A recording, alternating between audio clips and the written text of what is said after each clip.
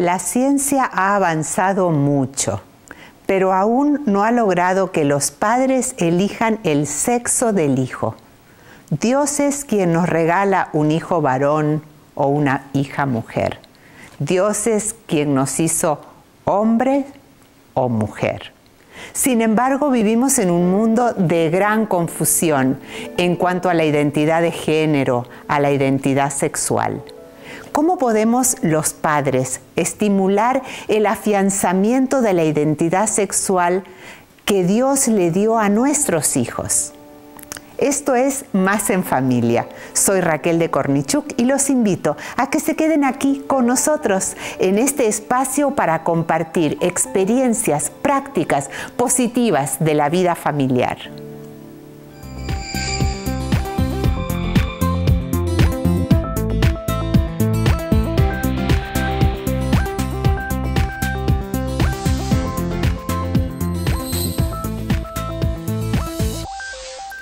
Estamos en Más en Familia y en el programa de hoy tenemos a la familia Carballo que nos visita. Bienvenidos todos a Más en Familia. Andrés, Liz y tres preciosos hijos. Andrés, ¿a qué se dedica usted? Bueno, trabajo para el Hospital La Carlota. Eh, soy ingeniero en sistemas y felizmente ahí trabajamos. Muy bien, así que trabaja con los sistemas de computación allí en, el hospital. ¿Y, Liz? Eh, actualmente estoy en la recepción de Lizar, de la escuela de mis tres hijos. Ok, de la escuela este, primaria. muy bien, muy bien. ¿Y hace cuánto están casados? Hace 16 años. 16 años. Y tuvieron la bendición de tener tres hijos preciosos. ¿Cómo te llamas tú? Yo, Andrés Caleb. Andrés Caleb. ¿Y Caleb cuántos años tienes? Tengo 14 años. 14. ¿Y qué estudias? Tercera de secundaria. Tercer año de secundaria. ¿Y tú? Pues yo, Eri Josué, y estudio primero de secundaria. ¿Y cuántos años tienes? Tengo 12 años. Tienes 12 años. ¿Y alguno de ustedes va a ser ingeniero como papá? No. Ah. tal vez. Tal vez, tal vez. ¿Y sí saben qué han pensado hacer cuando sean grandes? Medicina. Medicina vas a hacer, Caleb. ¿Y tú? Pues también medicina. También medicina, miren. ser médicos. Qué futuro de cuidado de la salud que van a tener ustedes. ¿Y tú, pequeña, cómo te llamas? Lisandi. Lisandi. ¿Cuántos años tienes, Lisandi? Ocho. Ocho años. ¿Y en qué año estás? En tercero. En tercero de la escuela primaria.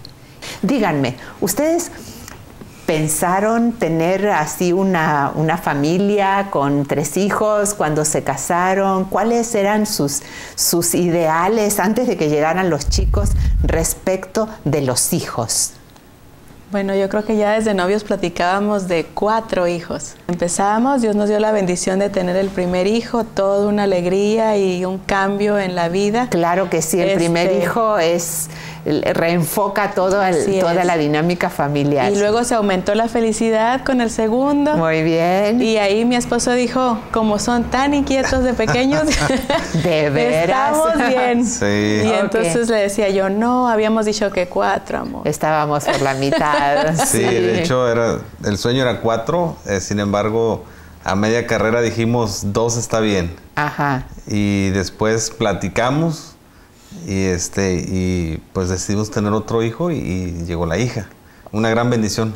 Claro. De hecho, este, los tres son hijos eh, deseados, en su momento planeados, y así que pues han llenado también el hogar de felicidad. Qué bueno. Ahora, ¿qué tipo de cosas les encanta hacer juntos? ¿Qué hacen juntos? ¿Qué les gusta a ustedes hacer juntos en familia? ¿Qué es lo más favorito, Sandy? Ah, pues... Mm, ¿Comer? Comer. Comer. Y eso lo hacen muchas veces al día. Sí. ¿Y comen juntos o cada quien come a su hora? ¿Comen juntos? Sí. Oh, eso es muy bueno. ¿Por qué? Me imagino que tienen horarios diferentes. Porque pues ahí platicamos. Ah, qué bien. ¿Y cómo de qué cosas? Pues de lo que nos pasa en el día. Ah, ok. Díganme, papás, ¿Cómo hacen para planificar eso? Bueno, es, una, es un momento, como decía la niña, muy importante para nosotros, la hora de las comidas. Ah. Y sabemos que más nosotros que trabajamos, ¿verdad? No es fácil, pero Dios ha sido bueno con nosotros y hemos encontrado puertas. Este, él adapta su horario, yo también. Ok, así que mueven los horarios para estar con ellos. Ahora, ¿cuántas comidas al día pueden tener juntos? Las tres. Las tres. ¿De veras? Sí. ¿Han, han ajustado los...? Sí. Sí, a pesar de que no tenemos el mismo horario de entrada y eso, eh, disfrutamos el desayunar juntos. este, nos levantamos muy temprano, somos de las familias que salimos, pero ya desayunados. Ajá. Siempre desayunamos este, pues algo fuerte. Ok. Eh, ¿Ustedes tienen compañeros que se van sin desayunar? Ah, Sí. algunos. Sí, ¿verdad? Y es diferente. Desayunamos fuertes porque, o, o comida un poco más, eh, no solo un cornflakes o algo así, porque la otra comida Ok. viene un espacio también bastante... Así que desayunan muy temprano Sí. y la, la comida del mediodía es tarde. Eh, sí, más o menos entre dos y media, más o menos de Oh, la tarde. sí, sí. Y entonces- Son muchas horas. Igual juntos, este, ahí aprovechamos para dialogar cómo les fue en la escuela, eh, o algo, algo que tenemos en familia. Este, y pues se habla de todo, ¿no? O sea, pues es una bendición realmente estar en, la- en las comidas. Y la cena, pues igual también este, lo hacemos. Las, lo hacen juntos. Sí. Les quiero preguntar, papás. Tienen una niña y dos niños. ¿Hay diferencias en la educación de una niña y de niños en la formación en el hogar? No me contesten, aguárdense un momento. Y quiero decirle a nuestra audiencia que enseguida volvemos. En un minuto estamos con ustedes en Más en Familia.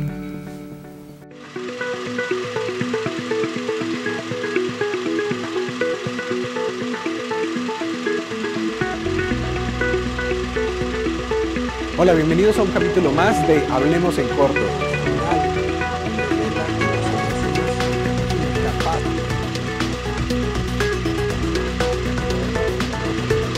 Porque las historias nos enseñan sobre la vida. Hablemos en corto.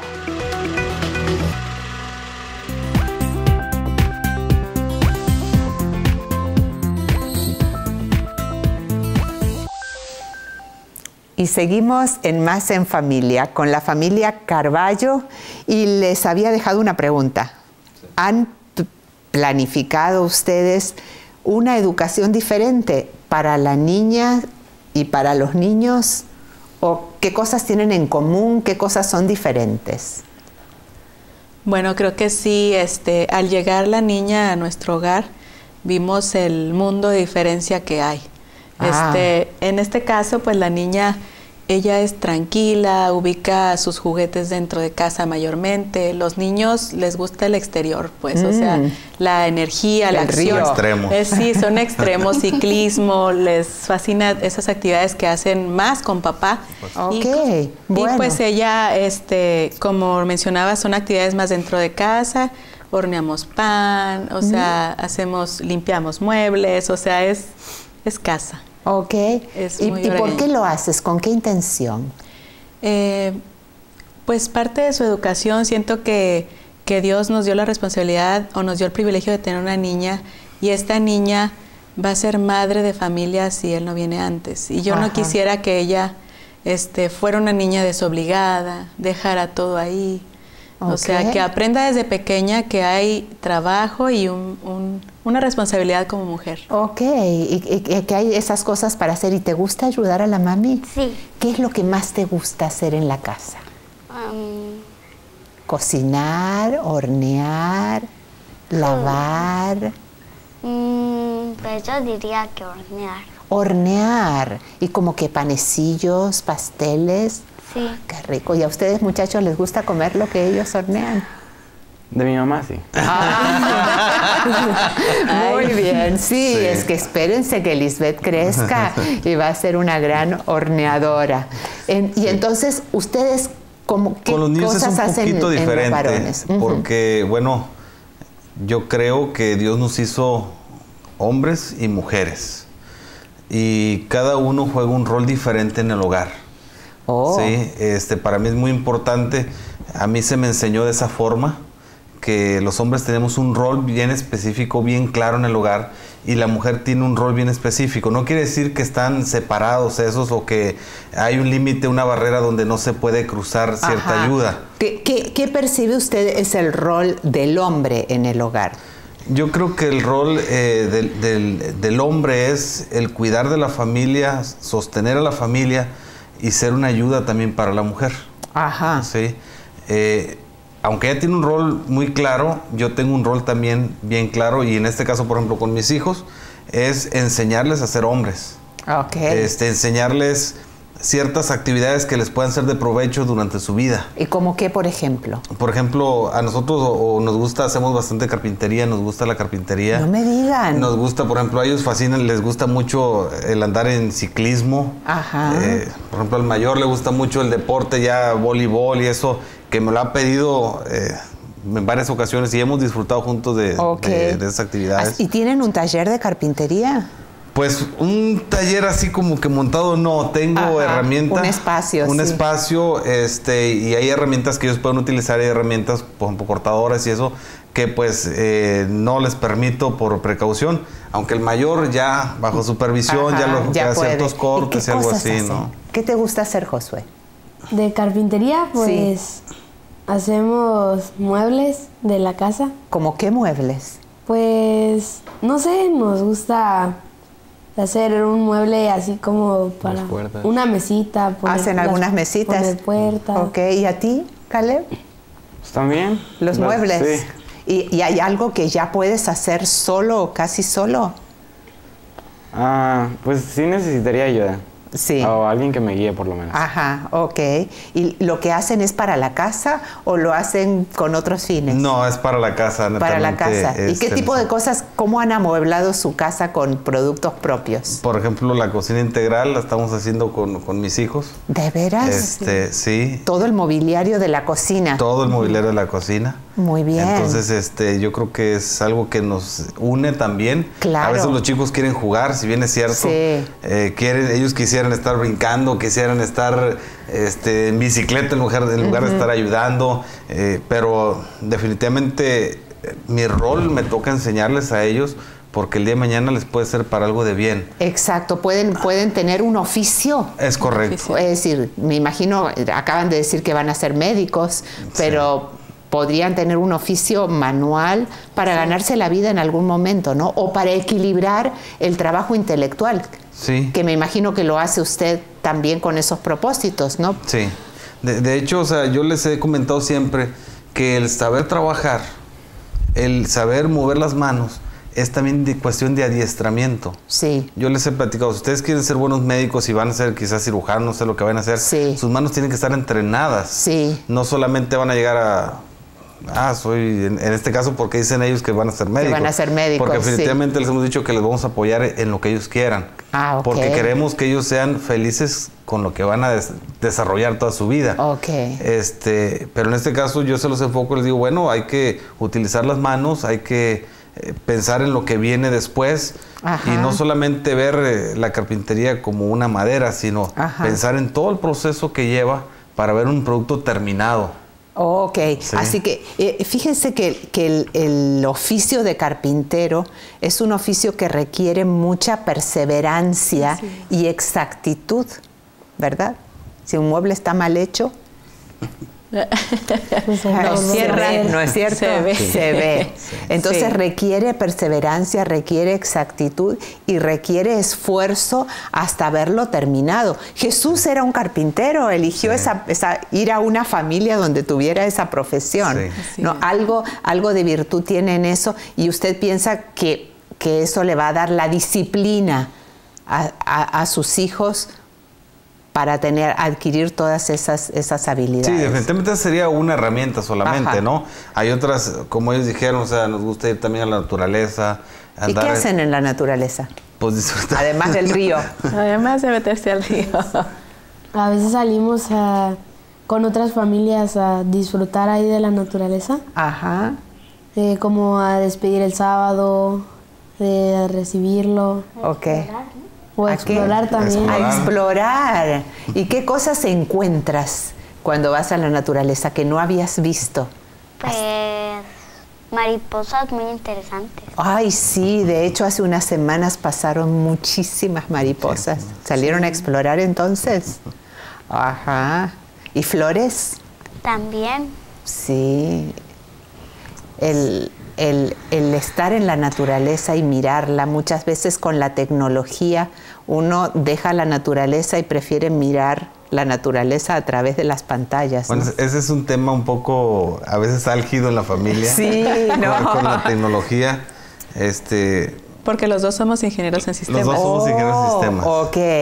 Entonces conocemos de, de la tecnología, sin embargo, a nuestros hijos hasta el día de hoy pues les hemos retenido un poco el estar en tanto contacto con pues algún dispositivo móvil eh, o algo que tenga que ver con la tecnología, con el afán, porque mi esposa y yo lo hemos platicado, es con el afán de que ellos eh, tengan creatividad, o sea, ellos se desenvuelvan, sepan hablar, porque la tecnología a fin de cuentas a veces los envuelve tanto que se Sí. hacen niños retraídos, Sí. eh, se encierran en su Sí. mundo, se evitan las pláticas, Sí. entre otras cosas que Sí, también trae sí. y que a veces... Además de todos los problemas de seguridad, ¿no? Sí, además. Sí. Pero muchas veces, en lugar de ponerle atención al hijo, pensamos que al darle algo de tecnología, incluso la televisión, Sí. pensamos que Va a pues, ser están como una bien. niñera. Ajá. Sí.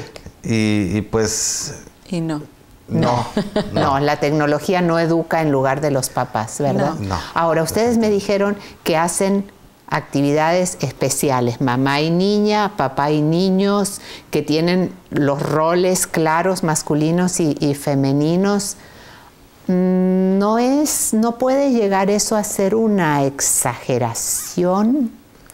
¿Cómo lo equilibran para que no se creen estereotipos de, de que les impidan de adultos vivir en el mundo complejo y ser flexibles? Es una pregunta que se las dejo, porque enseguida volvemos. Enseguida volvemos también con ustedes. Estamos en Más en Familia. Los niños son el corazón de cada familia y compartir tiempo con ellos es la preocupación de todos los padres. Por eso, para no desaprovechar ni siquiera los minutos que pasas preparando el desayuno, en piedra, papel o cuchara aprenderás cómo hacer de este momento un encuentro divertido y saludable. No te lo pierdas. Piedra, papel o cuchara por este tu canal.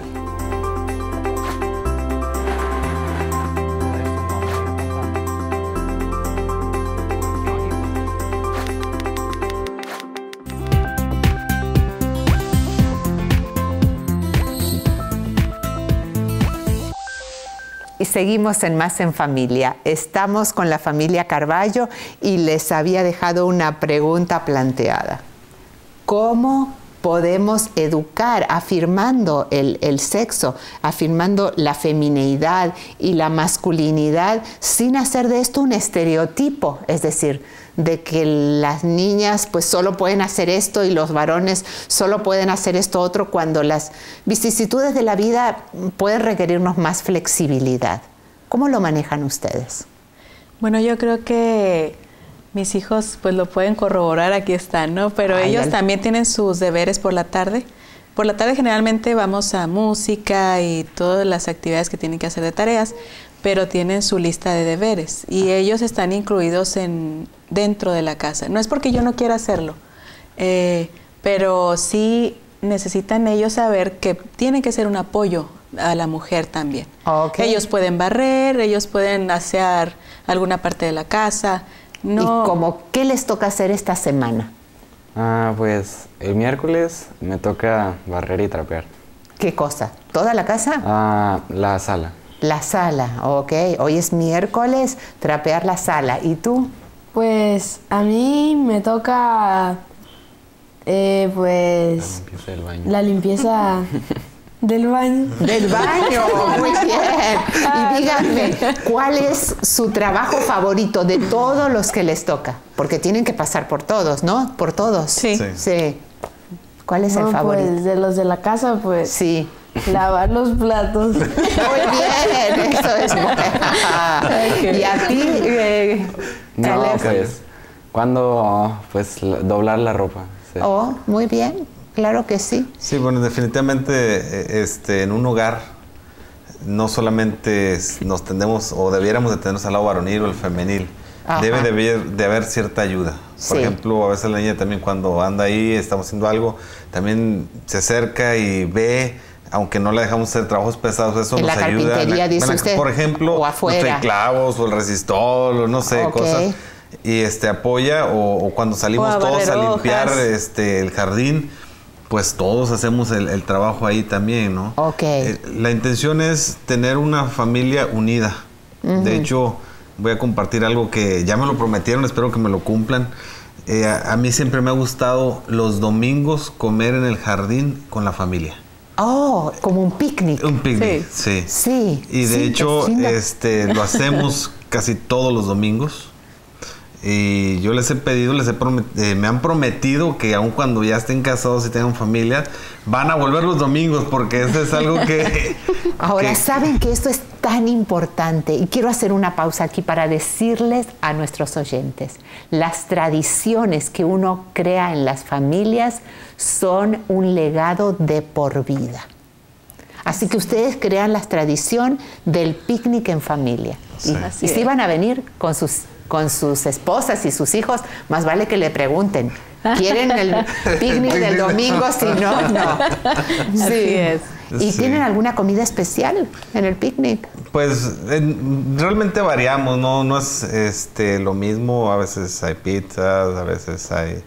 de- de- definitivamente variamos, ¿no? Hay, hay diferentes La, la ocasión es, estar afuera. Es estar no afuera. siempre en la mesa, con donde siempre estamos. pues. Ok, de hecho, los sábados es en otra mesa especial, pero el domingo saben que es afuera. Es afuera. Y a veces invitan amigos Ah, o sí. eso. Sí, definitivamente. Es el- Nosotros hemos encontrado con familia que el estar juntos en una hora que todos deseamos, que es la comida, nos ayuda y nos une también. sí. Este, si tenemos un problema, un detalle, pues ahí, eh, o incluso también nos ponemos de acuerdo para los roles de la semana Ah, o cosas ese que es el van a hacer, momento, muy bien, es de el momento. organizar. Pero sí, este, eh, yo creo que nos une mucho eh, estar juntos, disfrutar juntos y no, a veces durante la semana, pues a veces la comida es más rápida. Claro, sí. Pero eh, el domingo, por ejemplo, que disfrutamos más del tiempo, andamos este, más tranquilos. Claro, fantástico. No tenemos una hora exacta de comer, este, Sí, pero cuando está listo salimos, cuando terminamos volvemos. Así y es. les, les pregunto, parte de la identidad del rol femenino o masculino tiene que, re- que ver con su relación con el padre del sexo opuesto. ¿Cómo se relacionan? Porque ustedes contaron madre, hija, padre, hijos. ¿Cómo es padre, hija, madre, hijos para afirmar esa identidad? Bueno, yo los amo tanto a los tres, ¿verdad? Sí. Y hay una cercanía muy especial de los niños conmigo. O sea, no sé, la parte de trabajo la suplen yo creo con su papi muy bien, Ajá. pero hay ciertas cosas que a la mami vienen. Ok. Entonces, eso Algunas- me... Algunos problemas especiales es Así con es. Sí. Ajá. no es que, ah, este es- va a ir bien, ahí voy Sí. con él, sino que me siento también de ver que ellos tienen confianza de acercarnos a nosotros, Sí. o sea, acercarse y contarnos, Sí, sí. ¿verdad? Algún detalle y, Y, eso. y el afecto que le puede dar la mamá, Sí. que es diferente al del papá. Ah, Perdón, sí. papá. Sí, no, Sí. definitivamente e- eso es algo que yo lo he notado desde que los niños están chiquitos. Siempre eh, yo me preguntaba al principio, quizá por la educación que le hemos dado, ¿por qué mis hijos tienen siempre que estar con ellos? O sea, Sí. todo. Y yo a veces, pues no estaba celoso, pero sí me preguntaba. Sí, veces, sentía un poco ¿por mal, qué? pero le O llegó la ¿por niña. qué? Cuando llegó la niña, me di- entendí. Claro, porque la niña también tiene una, una, una atracción Un Porque la especial con el niña papá. viene conmigo. Ok, ¿y qué hacen juntos ustedes o en qué situaciones trabajan juntos? Ah, pues a veces vamos a comer una nieve. ¿De veras? Oh, ¿sí los muchachos? Pues sí hemos ido. Oh. Y me están nosotros descubriendo por aquí. Así que ya la mamá les debe una nieve. Ok, Este, sí. muy bien. Sí, de hecho, este, en, en algunas veces he intentado peinarla y no me salen también los peinados, pero se los hago, los hace por supuesto mejor mi esposa, pero Claro. sí lo he hecho, este, y es algo que he disfrutado también en su momento y incluso cuando ella se ve al espejo me dice, papi, me quedó chueco el peinado, le digo, pues mija, fue lo mejor que pude hacer. O sea, Claro no que sí, no- claro que sí. Pero, pues sí. ¿Qué consejos le darían a papás Y aquí tengo una pregunta para ustedes. ¿Qué consejos le darían a una familia? Y tenemos muchas. Que el hijo le dice, me siento niña. La hija dice, me siento niño. ¿Qué pueden hacer esas familias para fortalecer la identidad del sexo que Dios le regaló a sus hijos? Yo creo que es algo sumamente importante estar bien aferrados a la mano de Dios, porque no es un comentario fácil que viene del hijo y abordarlo pronto. Es decir, tomarlo con seriedad. Con seriedad. Y abordarlo no pronto. es un juego, me quiero poner faldita, no. Ok. Eres niño. Ok. Yo creo que la educación, bueno, la educación nunca ha sido fácil. No. Eh, el llevar la responsabilidad de ser padres es realmente un compromiso con uno y pedirle a Dios que nos dé sabiduría para poder guiarlos. La educación es un proceso, no es algo del azar, me salió niña, me salió niño. O sea, este, yo creo que es un proceso donde los padres y las madres debemos de, de llevar el proceso y enseñarle las actividades que deben de hacer eh, para niños, para niñas, porque a veces ahí es donde Que- no hay que- que problema. se crea decimos la confusión. Sí, se crea la Así confusión. Entonces yo creo que como padres debiéramos ser este más eh, confiados o confiar en la educación, darle el proceso a la Es educación. decir, ser más intencional, sí, estar más alerta. estar Así más es. alerta y por supuesto yo creo que aferrarse a la mano de Dios, Él y transmitírselo también al niño. Porque desde la Biblia nosotros encontramos que se habla del niño o de la niña, del hombre y de la mujer. Claro que sí. Pues les agradezco mucho el haber estado con nosotros y compartir sus experiencias en Más en Familia. Y entonces me dirijo a la audiencia diciéndoles que la Biblia es una guía certera. Papás, confiemos en las Sagradas Escrituras.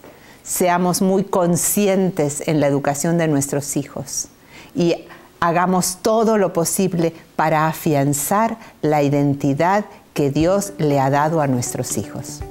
Nos encontramos en el próximo programa en Más en Familia. Hasta la próxima.